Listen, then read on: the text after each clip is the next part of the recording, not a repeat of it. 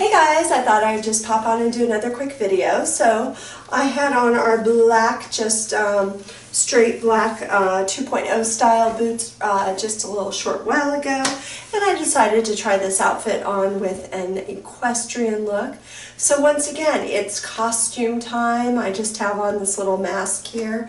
Like if you wanted to go to a friend's costume party or something, but you didn't want to fully, you know, fully dress up. Um, I just think these are uh, cool little things to just add a little touch, little masquerade, a uh, little equestrian masquerade. So anyway, um, I just, you know, like I said, just love playing with fashion, playing with um, costumes, and costumes are so much fun. I really enjoy just uh, dressing up and seeing what I can come up with, and it doesn't always have to be a full costume. It can just be a little touch of something here and there and uh, that just sort of makes it a costume. So just think uh, masquerade, equestrian, military, I don't know.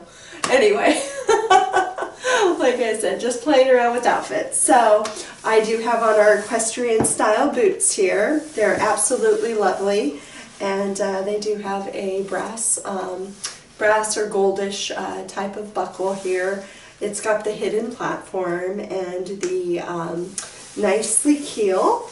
And uh, we've got the, the two-tone here, which is the black and the brown together uh, because I wanted the inspiration of like English riding boots uh, from uh, to have this kind of look. So anyway, I hope you guys are enjoying our videos. Uh, please remember that we're Leviticus Fashions.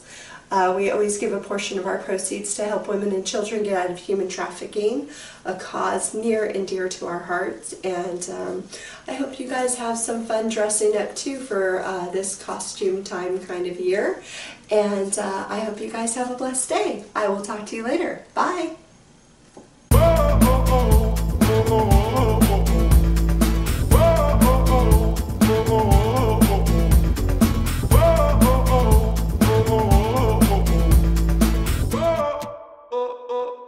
oh, oh. oh.